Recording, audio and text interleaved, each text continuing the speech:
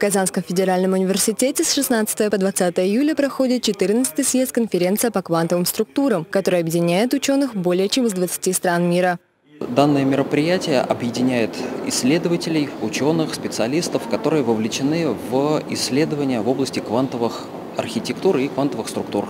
Из 12 стран 42 иностранных участника примут участие в работе данной конференции, э, что знаменательно, что все они не просто подали статьи, но и приняли решение приехать познакомиться. Данная конференция проводится раз в два года. В этом году местом проведения была выбрана Казань и, конечно же, Казанский федеральный университет. Два года назад, когда в достаточно серьезной конкуренции подали заявку и смогли обосновать, почему Казанский федеральный университет может стать хозяином этого значимого события.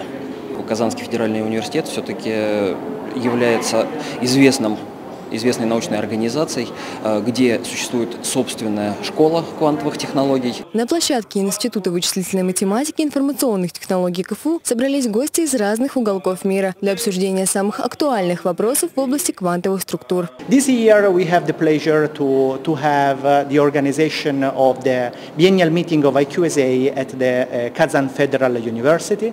It is a great pleasure for me. 14-й съезд конференции по квантовым структурам будет проходить в Казанском университете по 20 июля включительно. Диана Шилова, Леонард Влетьяров, Универньюз.